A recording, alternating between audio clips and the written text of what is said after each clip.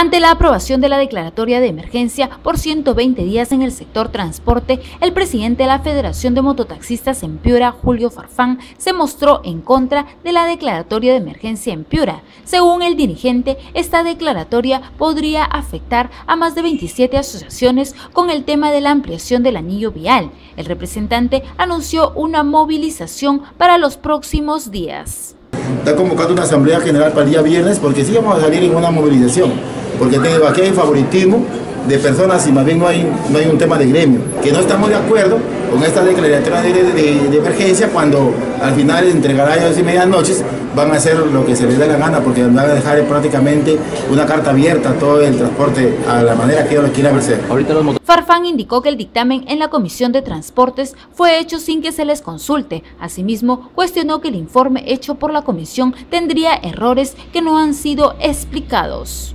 Eh, se ha aprobado un dictamen y se ha aprobado un anteproyecto, o sea, un, dictamen que dice 90 días y un anteproyecto que dice 120 días, con muchos errores, con muchas falencias. Entonces, eh, lo que preocupa acá es que ya ver, una vez que se ha aprobado y no se dan los instrumentos legales, por decir, la violación de los derechos que corresponden, en este caso, la participación de los mototaxistas por la ley 27189, que es a través de la Comisión Técnica Mixta, pero como declara en emergencia de transportes, creo yo, ¿cómo van a quedar las ordenanzas? Si las ordenanzas se van a respetar o, se van a simplificar la cantidad de ordenanzas que existen en tanto el transporte urbano, interurbano, el transporte masivo, el mototaxi, porque existen diferentes ordenanzas municipales. ¿Cómo va a quedar eso?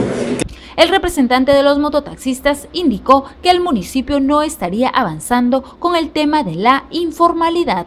Y en el 26 de octubre hay 42 asociaciones de 50 asociados que fueron transferidos de Piura al 26 de octubre. O sea, estamos hablando más o menos de 7.000 500 compañeros mototaxistas formales y hay cerca de 8.000 que son informales.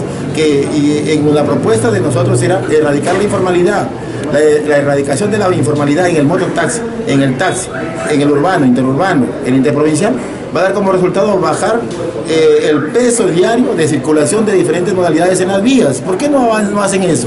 Eh, es más, la ley 27181 indica claramente que para que se den los instrumentos legales y las bases legales para un plan regulador de rutas, la municipalidad tiene que cumplir con la ley, no abusar con de la misma. ¿Por qué? Finalmente, Julio Farfán indicó que al ampliarse el anillo vial, los más beneficiados serán los taxistas. Además, dijo que en un acuerdo el día viernes el gremio convocará a las bases para la realización de un paro a nivel provincial si se persiste en la ampliación del anillo vial.